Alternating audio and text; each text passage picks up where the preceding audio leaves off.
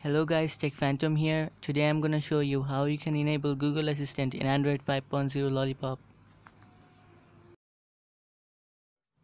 This is what you will get.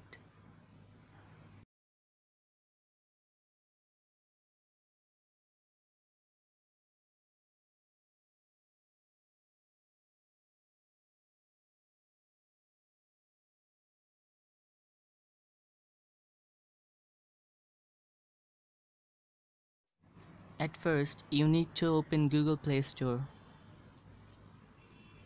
Then click on the search bar and search for Google.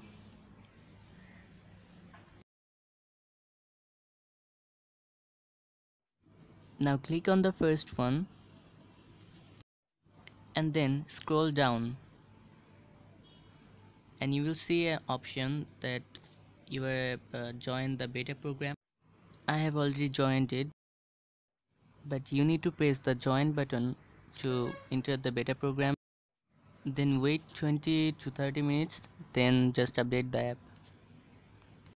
After that you need to download an app. The link is given in description. After downloading just install the app.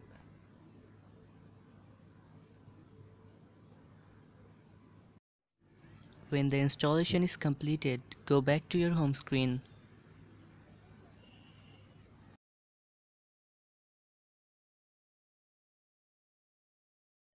Open the Google app, do the initial setup and then close it.